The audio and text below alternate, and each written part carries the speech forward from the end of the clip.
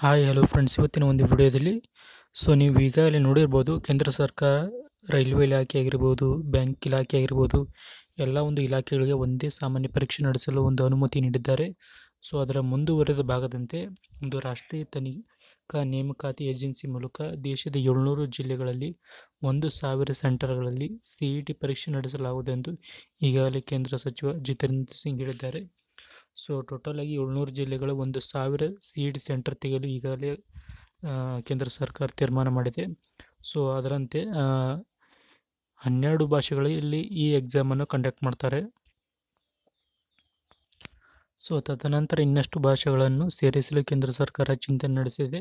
So ಅದರ ಜೊತೆಗೆ ಈ ಸಿ ಇ ಟಿ ಎಕ್ಸಾಮ್ ಬಂದ್ಬಿಟ್ಟು ಎನ್ ಆರ್ ಎಗೆ ಒಂದು ನಡೆಸಲು ಒಂದು ಕೇಂದ್ರ ಸರ್ಕಾರ ಒಂದು ಹಸಿರು ನಿಶಾನೆ ತೋರಿಸಿದ್ದಾರೆ.